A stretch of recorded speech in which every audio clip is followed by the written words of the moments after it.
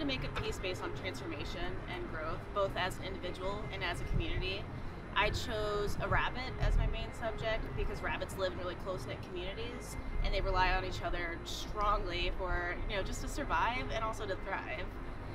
The rabbit has two heads, which symbolizes the choice to be active or inactive and to make actions that benefit yourself and your community overall.